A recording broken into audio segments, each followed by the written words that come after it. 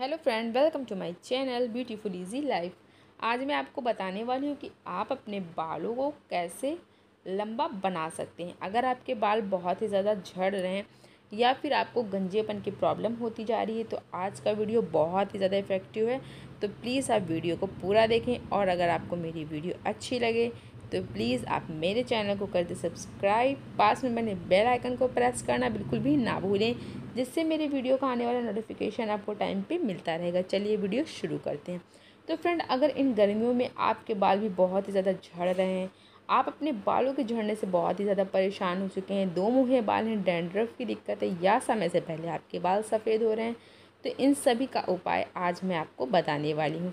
इसके लिए आपको चाहिए होगा अदरक। जी हाँ फ्रेंड जिंजर जो कि आपके बालों के लिए वरदान साबित हो सकता है। अगर आपके बाल बहुत ही ज़्यादा झड़ रहे हैं, आपको गंजेपन की दिक्कत आ रही है तो आपको लेना होगा अदरक। इसे आप अच्छे से क्रश कर लें या फिर आप इसे पीस भी सकते हैं।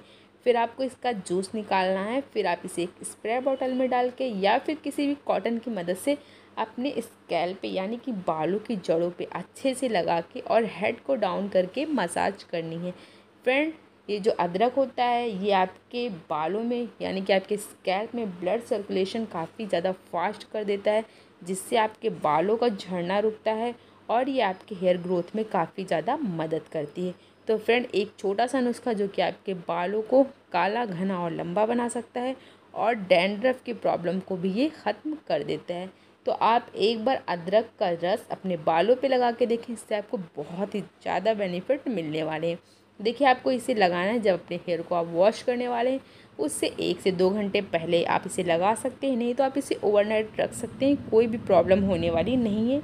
अदरक आपके बालों का झड़ना रोकेगा आपके बालों को सफ़ेद होने से रोकेगा और अगर आपके बाल दो मुँह हैं उनसे भी आपको छुटकारा मिल जाएगा। तो काफ़ी इजी रेमेडी है आप इसका प्रयोग करके अपने बालों को काला घना और लंबा बना फ्रेंड अगर आपको मेरी वीडियो अच्छी लगे तो आप फ्रेंड एंड फैमिली के साथ वीडियो को ज़रूर शेयर करें और कोई क्वेश्चन है तो कमेंट करके पूछ सकते हैं। मैं आप सभी के रिप्लाई देने की कोशिश ज़रूर करूँगी। मिलते हैं अगले वीडियो के साथ। Okay bye friend